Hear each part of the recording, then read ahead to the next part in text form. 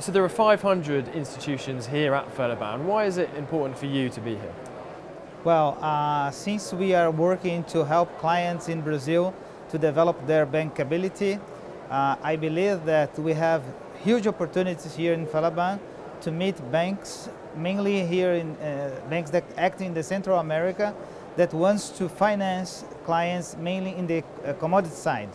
Tell us about your growth expectations uh, in the region for the coming year.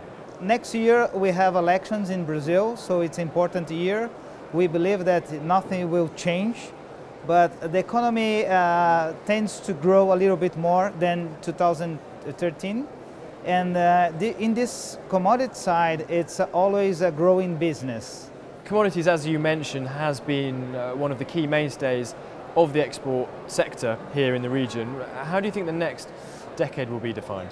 Our problem in Brazil is uh, to invest in infrastructure.